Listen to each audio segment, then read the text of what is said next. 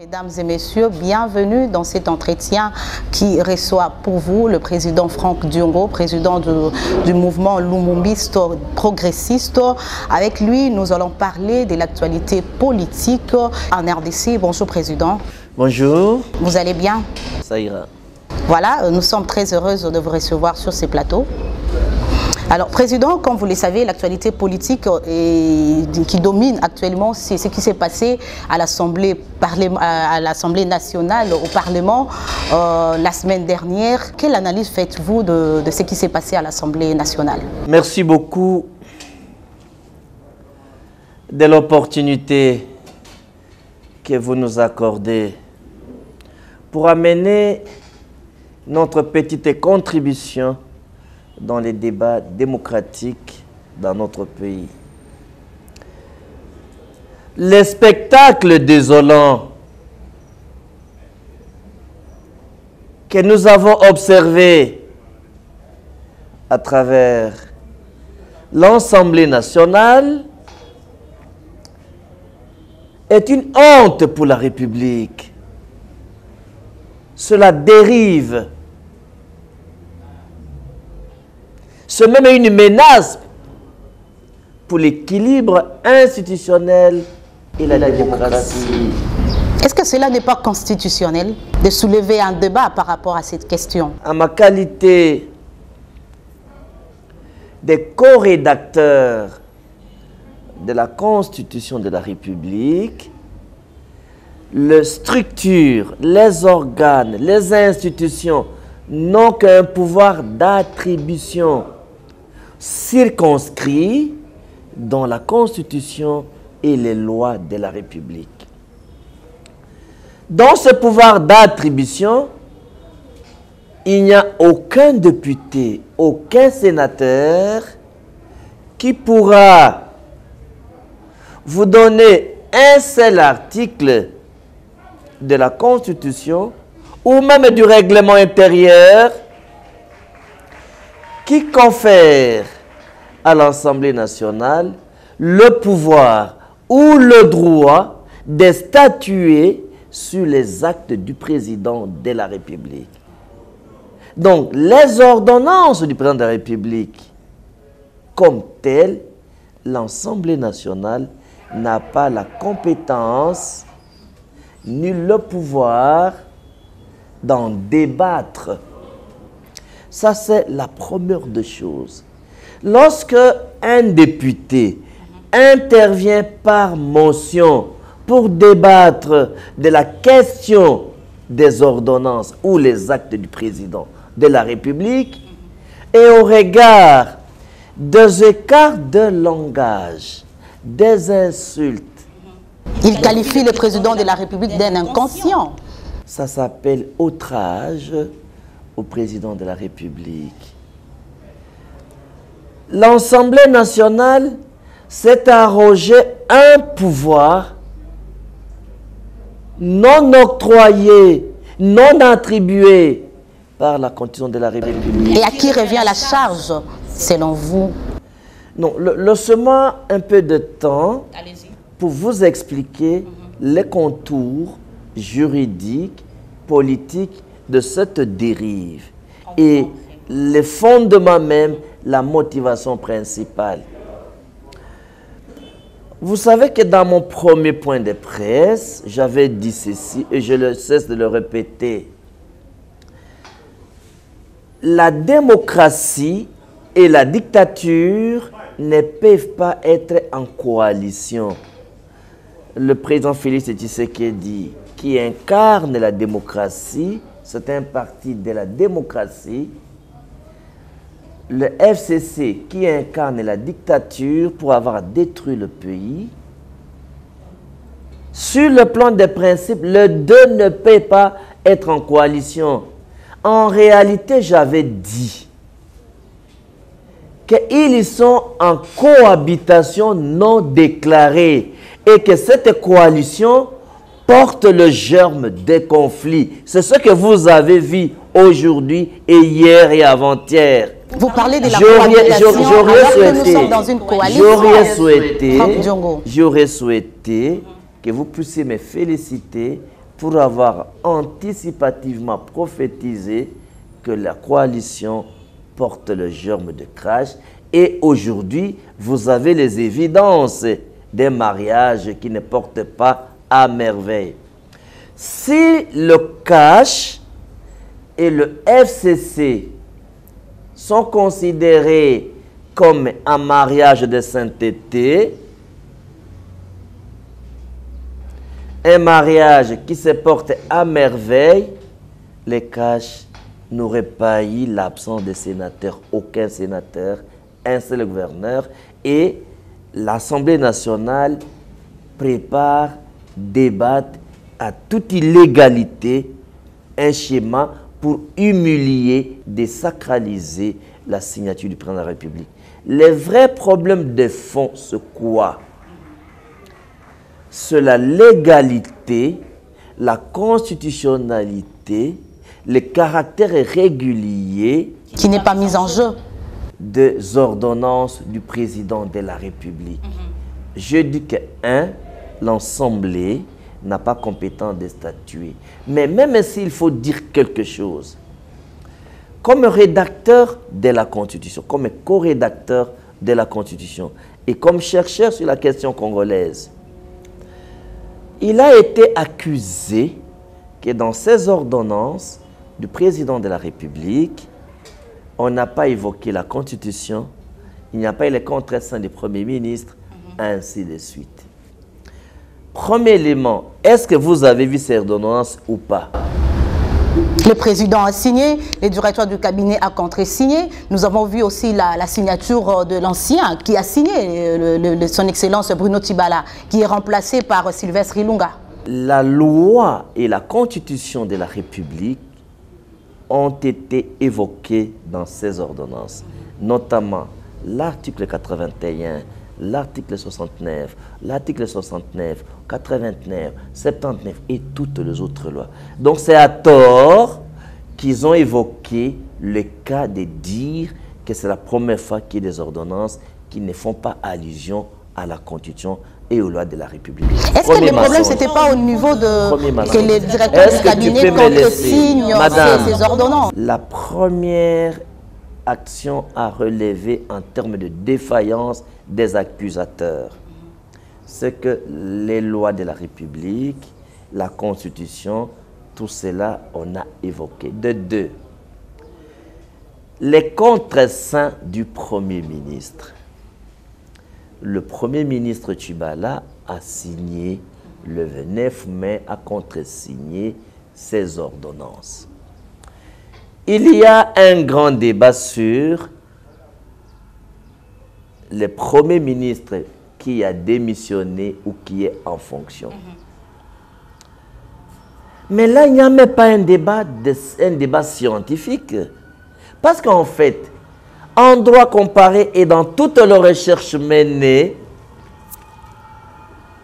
les codes très saints a quelle signification juridique dans un document D'abord, la décision appartient à qui?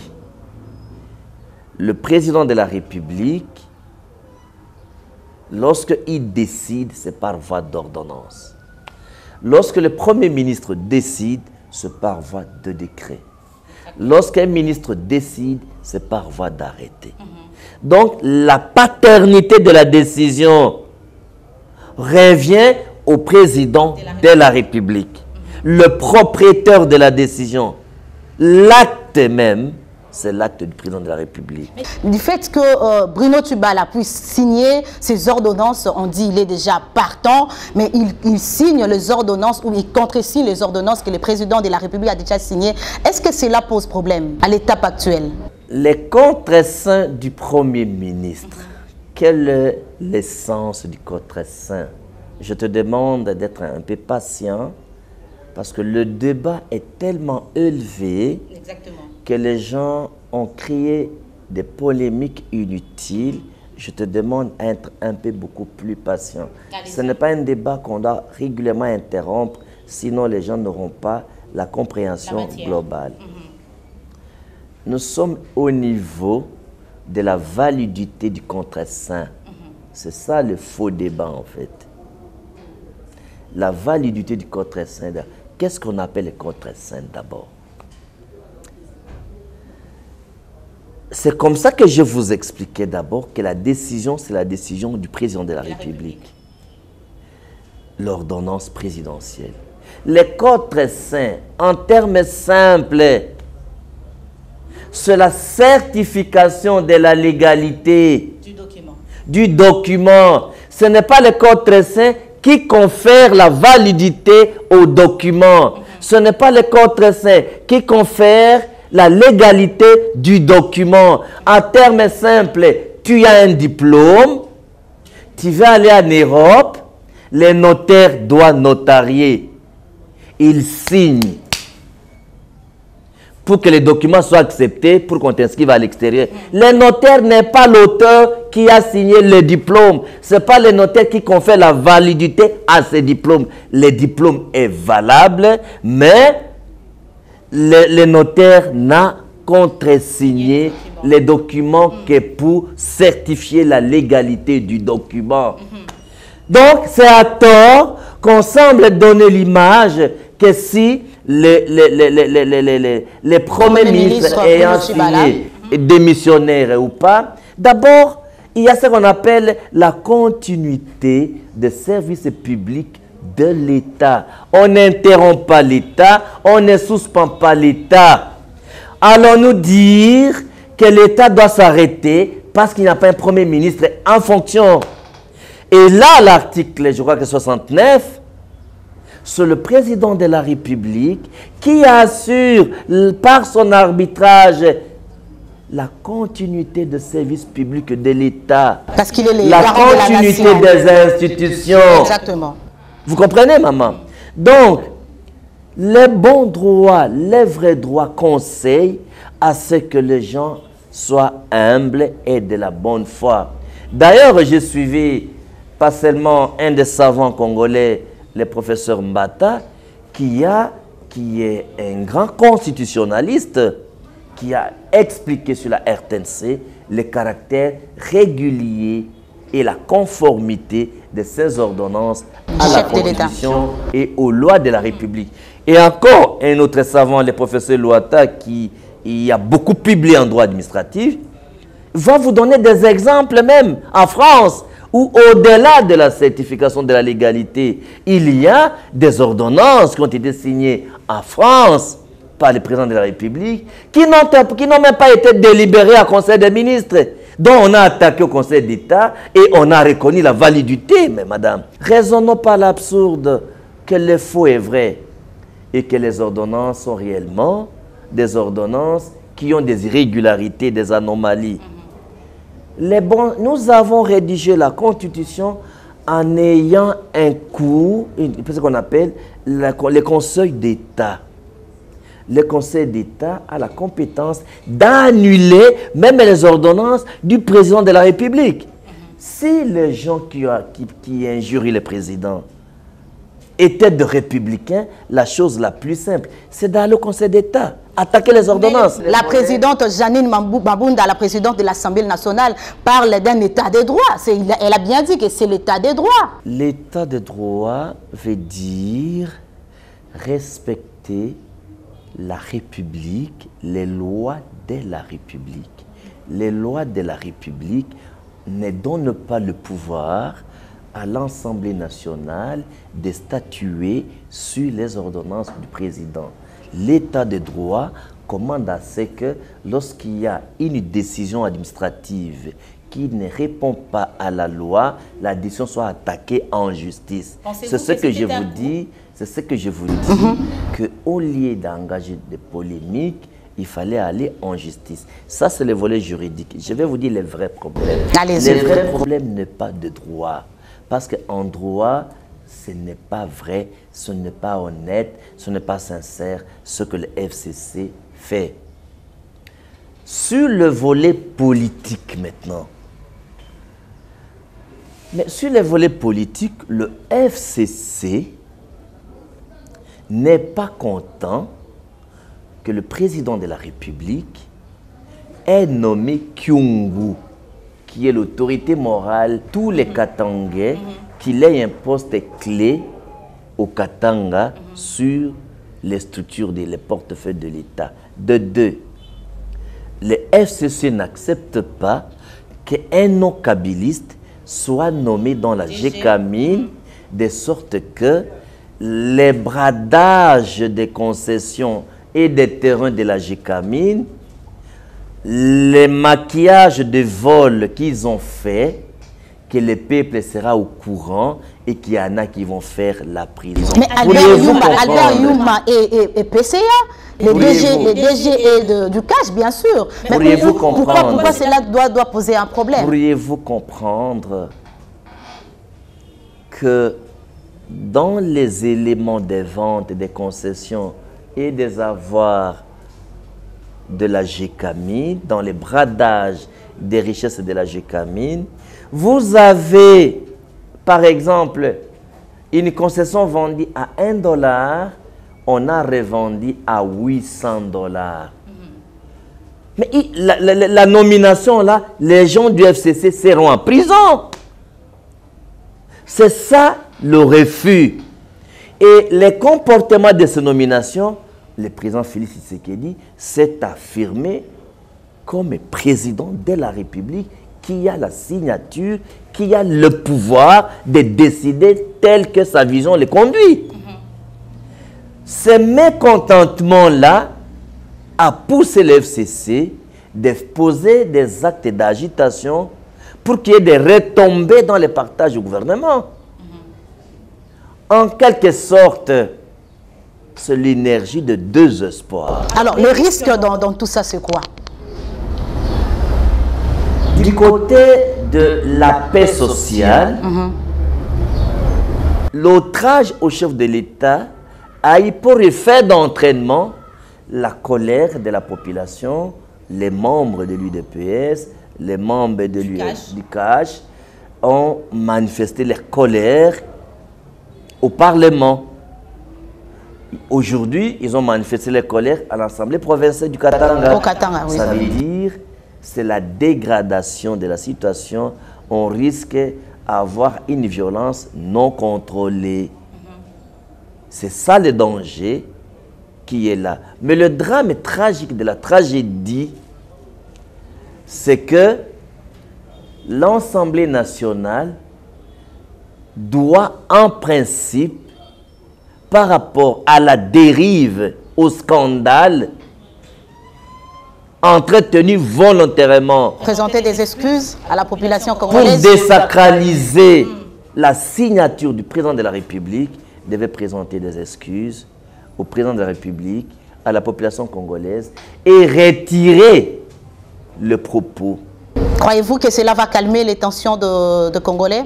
Ça, c'est en, ça, en termes de palier. Ça, c'est le premier palier. Le deuxième palier, il faut que l'FCC prenne conscience que s'ils sont en coalition avec le cash, c'est que le chef de la majorité, il n'y a pas des centres de décision, il n'y a pas des centres d'impulsion.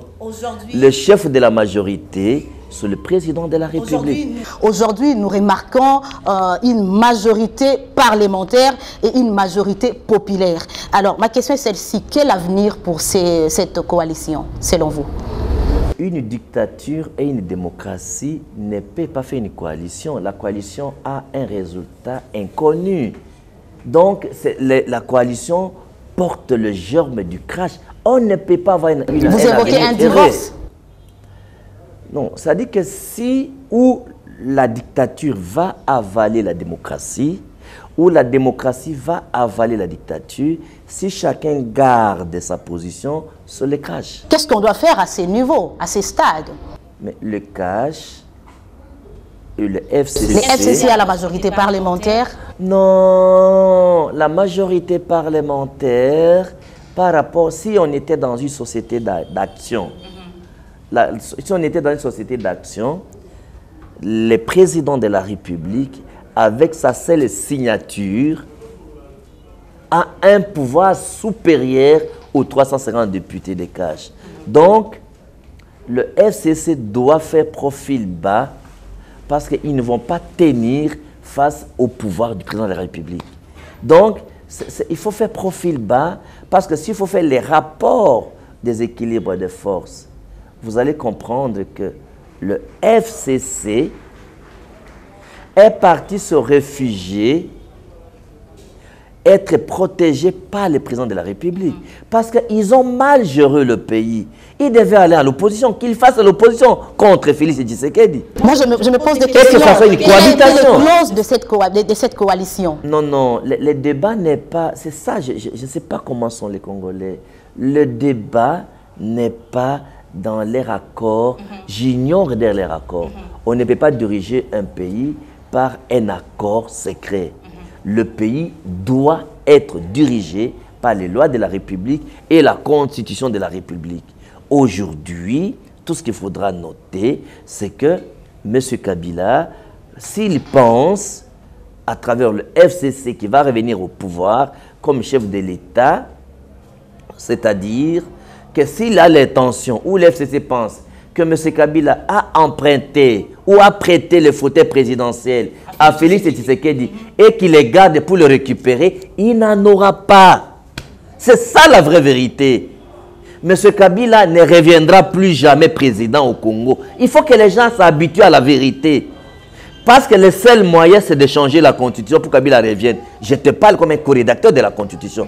Dans la constitution telle qu'on l'a rédigée, tu as des mandats, tu ne rentres plus jamais. C'est modèle américain. Voilà. Tu ne rentres plus jamais. Donc, il faut que Kabila change la constitution. Alors, M. Kabila pense à travers l'FCC que le fait qu'ils ont eu 3 cinquièmes de députés et de sénateurs, ils ont la majorité capable de changer la constitution. De deux, comme ils ont eu plus de 3 cinquièmes de parlementaires, ils pensent qu'ils vont destituer Félix Tshisekedi. Ni la destitution, ni le changement de la constitution, le FCC ne sera pas capable de faire ça. C'est une illusion du pouvoir. Vous parlez Je de te parle euh, de la majorité parlementaire, mais aujourd'hui, euh, Franck Diongo, nous vivons encore de contentieux électoraux en RDC, euh, chose qui provoque, la, population dit que c'est une provocation. C'est plus en faveur du FCC. Quelle est votre lecture par rapport à la Cour constitutionnelle? Non, non, moi, moi je me suis désengagé des élections. MLP avait 127 candidats qui avaient été validés. Ça veut dire que j'ai perdu 127 000 dollars de candidatures. Donc, tout ce qui est de résultat des élections, potentiel électoral, l'MLP s'est désengagé. Nous n'avons pas d'opinion parce qu'on ne croit pas à tout cela. Vous ne croyez pas donc qu'il y a une fausse manœuvre à ce en termes, en termes de volonté, le président Félix Tshisekedi qui est le produit d'un combat de la démocratie à travers le parti de son père, dont il a, il a, il a, il a hérité le, le combat au sein de l'UDPS, a l'obligation morale, politique et au regard du pouvoir qu'il a compris dans la République, de consolider un état de droit à travers des réformes. Il doit procéder à des réformes pour la Cour constitutionnelle, des réformes de la CENI, l'organisation des élections, et je m'en passe, la justice, ainsi de suite. Donc, il n'y a que la réforme qui pourra nous aider à consolider la liberté et installer un État réellement démocratique. Parce que, étant le fruit de la démocratie, tu vois comment il a restitué la liberté, toutes les manifestations sont autorisées, tous les meetings sont autorisés. Je vois que dans ce sens-là, le pays pourra respirer. Mais jusque-là, Félix Tshisekedi, comme président de la République, montre le signaux positif qui construit un espoir. Vous parlez, vous parlez des signaux positifs, mais aujourd'hui, nous attendons l'arrivée de Moïse Katumbi à, comment, à l'est du pays, mais qui n'a pas atterri. Vous ne voyez pas qu'il revient toujours à, la même chose qu'on a décrié hier Il faut dédramatiser le report des voyages de Moïse Katumbi. Il est clair que le président Moïse Katumbi a dit clairement qu'il continue à attendre l'autorisation. Il n'a pas dramatisé, il n'a pas minimisé. Est-ce que cela doit tarder qu'il a, demandé, qu'il a demandé l'autorisation. Et à la date voulue, il ne l'a pas obtenu. Chacun de nous cherche à comprendre pourquoi à la date demandée, parce que lorsqu'on sollicite une, une autorisation d'atterrissage et de survol, on met le date, toutes les dates sont là, et l'itinéraire de vol, les escales, s'il y en a ou pas. Alors, à la date demandée, il n'a pas obtenu l'autorisation. Est-ce que c'est technique, c'est politique?